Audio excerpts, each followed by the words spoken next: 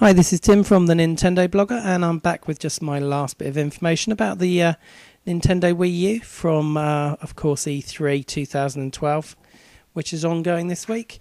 Now, Nintendo have um, said, first of all, that um, they don't want the Wii U to be confused with the Wii, hence, it's not going to uh, be able to be stood up vertically, and it'll only be able to uh, sit horizontally, which is a little bit confusing to me because um, obviously the Wii could go either way, and um, if you stand and stand the Wii uh, horizontally like mine is, then it looks pretty well, fairly similar.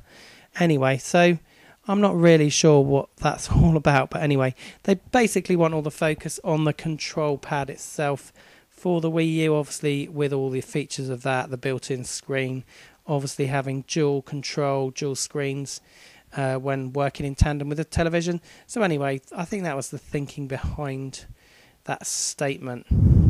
So, moving on from that, um, they have said um, there's been some more conflicting statements um, about the actual Wii U friend codes and whether they will actually be in place or not.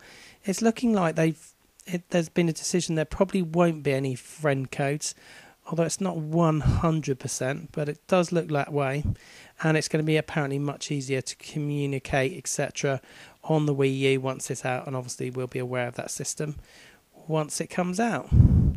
So that kind of clears that one up, although it's not, uh, like I said, 100%.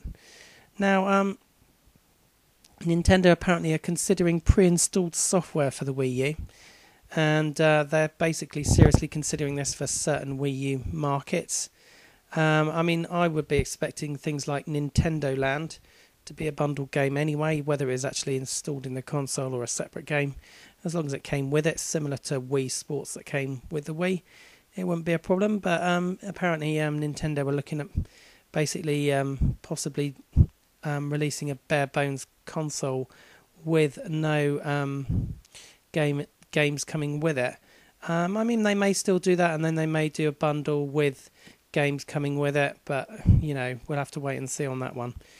Um, now, finally, um, the Wii U screen isn't going to be multi-touch due to uh, cost impl- uh, implications in manufacture. Um, basically, Nintendo have said that they believe the uh, Nintendo DS screen, etc., was adequate enough for gamers, so they got sort of similar feelings for the uh, Wii U gamepad controller, obviously because of the larger size and the more complex nature of it, obviously it was going to add a lot to the cost. So it looks like that isn't going to be multi-touch. So that's it. That's my roundup of the uh, Wii U news from Nintendo. Well, from Nintendo at E3 2012. I'm going to bring you all the uh, game information for the Wii U, the launch games, etc., and also Nintendo Land tomorrow. And I'll also bring you up a roundup of all the Nintendo 3DS news.